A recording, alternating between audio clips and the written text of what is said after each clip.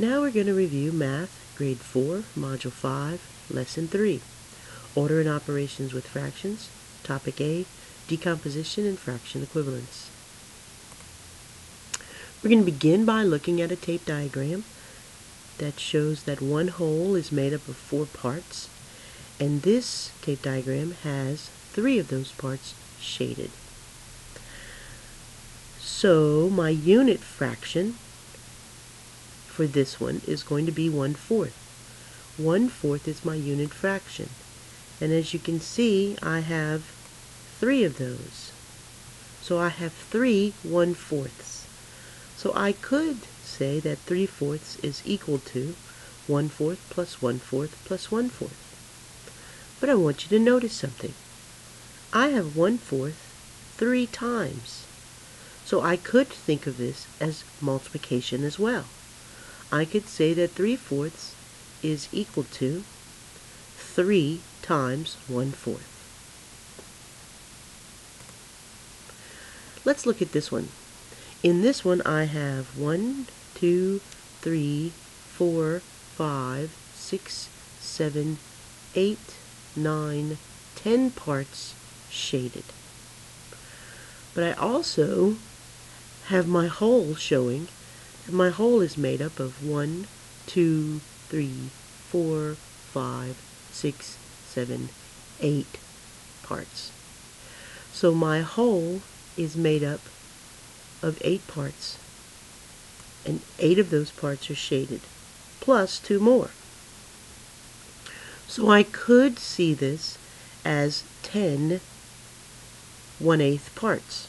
I could see since each one of my unit fractions is 1 eighth, I could see that as 10 eighths being equal to 10 times 1 eighth.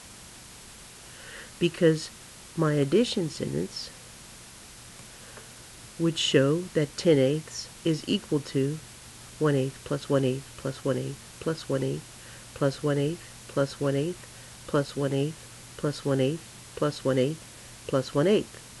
But it's a lot easier to say that with multiplication. That I have 1 eighth 10 times, or I have 10 times 1 eighth.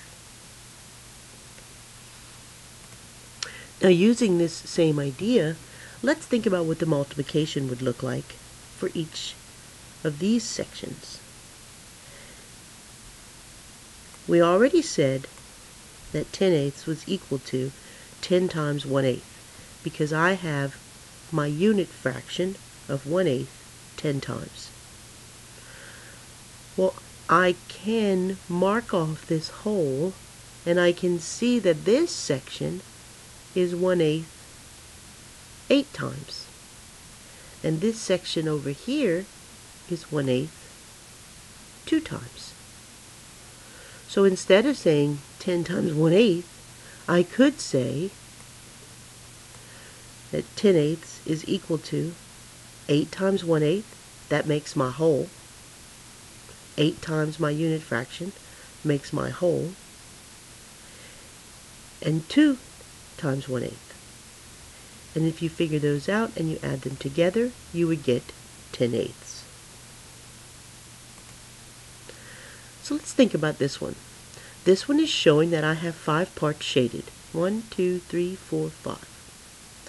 But it shows that my whole is made up of three parts.